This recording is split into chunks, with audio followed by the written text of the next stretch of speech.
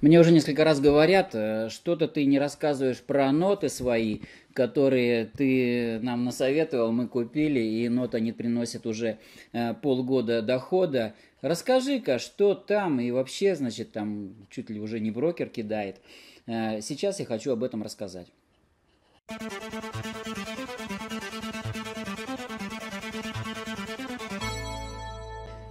Итак, здравствуйте, друзья, здесь Демитков Юрий. Э, что касается нот, про которые я так много говорил, начиная с конца прошлого года, с осени. Э, и меня упрекают, говорят, что Слушай, ну вот ты нам наговорил про ноты, про эти, и ну ты не рассказываешь там про риски. Э, моя история с нотами. Вот. Давайте посмотрим сейчас на экран и смотрим. Вот э, те ноты, которые я покупал.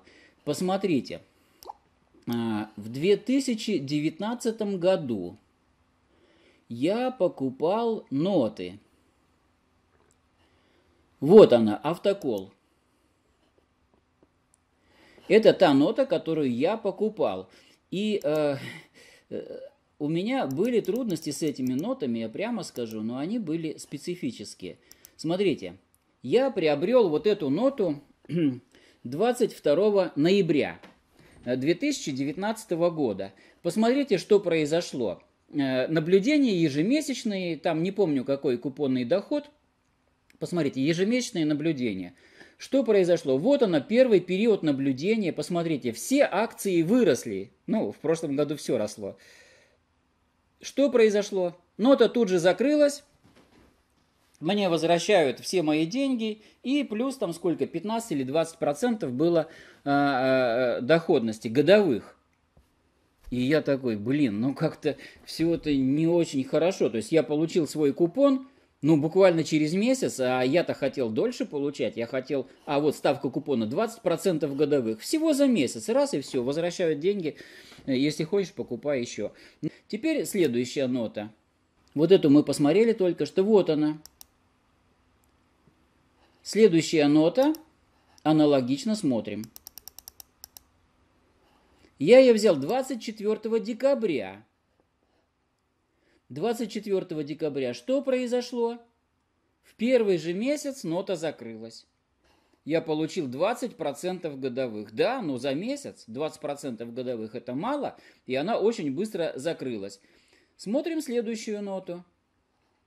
Видим, что следующую ноту я взял 27 декабря. И эта нота также в первый же месяц закрылась. То есть, смотрите, я беру ноту с хорошей доходностью, 20% годовых, она через месяц закрывается. Я беру ноту, она через 20%, э, через 20, э, через месяц закрывается. 20% годовых приносит. Э, вот... Э, и поэтому, значит, здесь уже речь шла не о том, что как бы я потеряю деньги, да, а о том, что, слушайте, ну надо купить ноту, у которой акции будут снижаться. А теперь давайте посмотрим, что с этими нотами произошло бы, ну, если бы я купил, ну, в другой момент. То есть вот какая бы то из этих акций оказалась вот здесь ниже. Сейчас переходим на э, другой счет уже брокерский, это счет моей жены. И, значит, посмотрите, вот она, еще одна нота.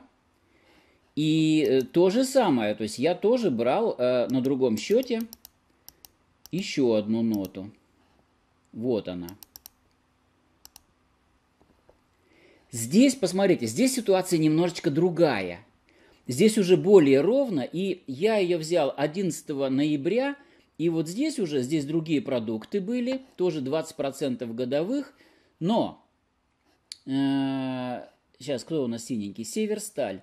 Северсталь вот здесь вот не выросла, она чуть-чуть не выросла, понимаете? И э, первый купон я получаю, и о счастье, она не закрылась в первый же месяц. Во втором месяце то же самое. Нет, здесь она выше. Во втором месяце была а, уже Роснефть чуть ниже. О чудо! Я а, получаю еще один купон за второй месяц. Что получается в третьем месяце? Видим, Роснефть чуть-чуть выше – Северсталь тоже чуть-чуть выше. Вот здесь вот нота закрылась, я за три месяца получил купоны. Ну вот, вот что было, вот что произошло. Если бы я в этом месяце Э, если бы вот чуть-чуть ниже была, то я бы ну, получил купон и продолжилось бы действие, то вот здесь вот я бы еще получил, может быть, купон, а может быть уже нет. Так, по этим получил, по этим получил, по этим Ну, кажется, получил бы вот здесь вот прямо тютелька в тютельку. Я получаю купон, что дальше? А дальше я не получаю купон, потому что вот она, самая нижняя, Роснефть, она ниже, чем э, барьер выплаты купона. То есть купон запоминается, купон запоминается. И вот здесь вот я получил бы раз, два, три купона. То есть э, за, за три месяца купон. Ничего, э, ничего плохого. Здесь опять не получаю, он запоминается. Здесь вырастет, я получаю за 3 месяца. Нота – это очень хороший инструмент. Я э, продолжаю э, как бы это утверждать. И что сейчас происходит с нотами, с текущими? Посмотрите. Вот сейчас э, нота, которая есть сейчас у меня. Вот она. И здесь э, все на самом деле печаль. То есть, когда они закрывались подряд, я их открывал снова я реинвестировал и открывал. Что у меня с текущими нотами? Вот она в январе, то есть закрылась предыдущая, я деньги перекладываю в следующую ноту. Я э, получаю э, в феврале один купон. Что происходит в марте? В марте мы помним обвал, да? И в марте я, э, то есть все четыре акции, все четыре компании ниже, чем э, барьер, чем купонный барьер. Купон запоминается, но не выплачивается.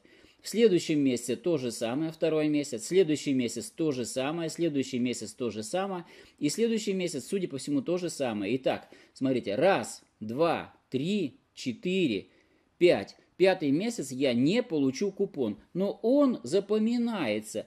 И смотрите, нота 23 э, была приобретена января этого года, и она закроется 23 а, января следующего года. Ну и что? Ну то есть если все четыре акции вырастут к этому времени еще полгода и предновогоднее ралли впереди там, ну, будем надеяться, что оно будет. Вот, то есть э, все еще впереди, и все эти купоны просто запоминаются. Ничего страшного не происходит.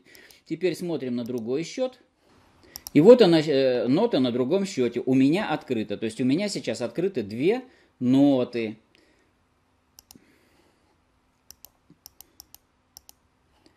Которые я открыл, ну, примерно в одно и то же время, 23 января. Вот, первый купон здесь я тоже получил, второй не получил, третий не получил, четвертый не получил, пятый не получил, э, шестой.